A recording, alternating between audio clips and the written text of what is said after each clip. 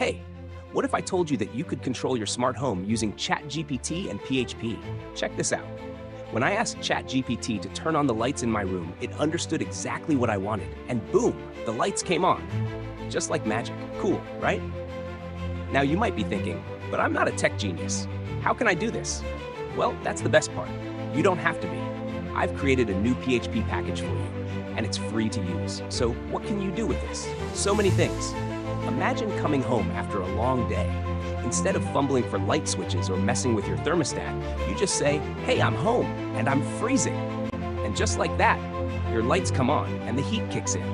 Or maybe it's movie night. You could say, hey, it's time for a movie, and watch as the lights dim, the TV turns on, and everything is perfectly set up. The best part? Your smart home gets smarter over time. Imagine this. You ask your AI, be always polite with me and call me by my name, Sarah. And the AI responds, Of course, Sarah. I'll always be polite and address you by your name. How may I assist you today? It learns your preferences and starts anticipating your needs. Now, I know this might sound complicated, but trust me, if you can write a bit of PHP, you can set this up. So, what do you think?